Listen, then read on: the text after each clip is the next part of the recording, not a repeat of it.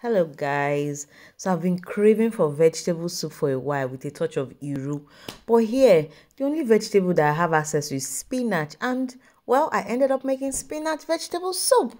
So these are all of my ingredients, I will list them all in the caption below. And I started off by cooking my meat which I had already seasoned and it had been marinating in the fridge for in a couple of hours.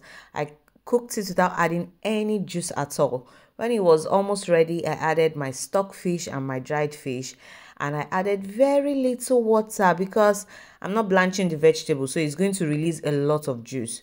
And then when that was ready, I removed all of my protein and I added palm oil and fried my onions and then I went in with my iru you know this is um fermented locust beans and it is so good for flavoring local you know dishes. Then i went with my pepper mix and my yellow habanero pepper because that yellow pepper is a game changer.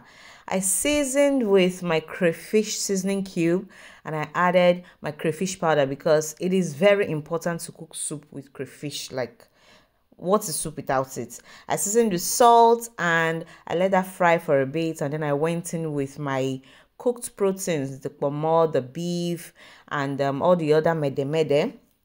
So I stirred that together, let them marry each other so they can come to an understanding, you know. And then I let that cook down, and then I added my sliced um spinach. It was a lot of spinach, so it released so much juice and after stirring it was ready. At this point i'd already turned off my gas because i didn't want it to cook for long. It was so good. I ate it with uh, oatmeal. You can serve it with rice. It was yummy